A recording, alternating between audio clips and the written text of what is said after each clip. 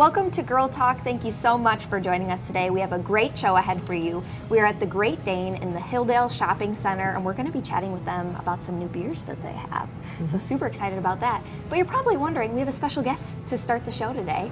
This is Michelle Heitzinger. Thank you so much for being with us. You're Thank with you Susan G. Komen, Wisconsin, mm-hmm. and you guys have a really important event coming up. It's coming up on May 20th Race for the Cure.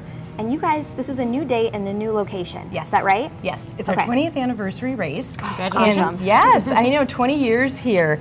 Um, it's funny, when we look back uh, 20 years ago, there were three major races in this city. Yeah. It was Crazy Legs, Syttende Mai, and our race mm-hmm. was the third big one, and then the marathon started a couple years later. There are three a weekend now, sometimes three a day on a weekend. That's so, yes, there's a whole lot more going on. yes. Absolutely. So come out on May 20th and do ours.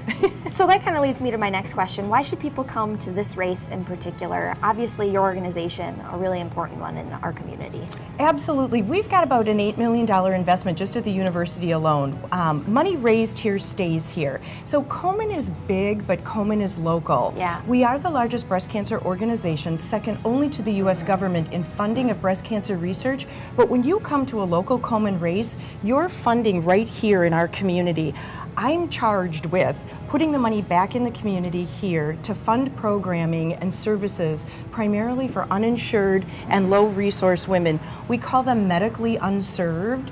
You know, so it's one thing to say, go get a mammogram, yeah. you know, go get things checked out. What if you don't have a regular doctor that you call? You don't have an office that you go to. You call our office and we connect you with the services that you're going to need for this. And again, it can be as simple as a breast problem. You're, you're concerned about something. You don't think it's cancer. And there's a lot of different warning signs now, and that's what's changed as well too. You're not just feeling for a lump anymore. Six of the eight warning signs are visual.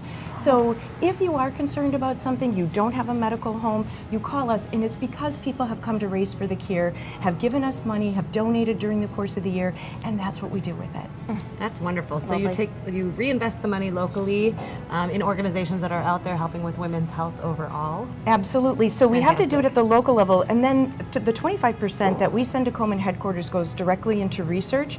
Over six million of that has come back to fund research being done at our university hospital. Yes, right. That's yes. wonderful. It's good to know that it's all in big mm-hmm. circle and you know it's coming back around. That's wonderful. Absolutely. That's wonderful. Nice work. Um, can we talk about some of the advances that have been made in breast cancer research and treatment? Yes. Well just even this organization starting on a promise between two sisters started at a time when we didn't talk about breast or cancer in public. Um, started by a woman who has no medical background. She was a buyer for neiman marcus. Nancy brinker was an admitted dyslexic. Learning was hard for her but she made this promise to her sister that she would find the cures for breast cancer she had no idea how she was going to do that. So she started with this race for the cure concept. What has happened since then to now, they used to give women mastectomies, take the breast, leave a concave scar, and flood you with chemotherapy whether you needed it or not.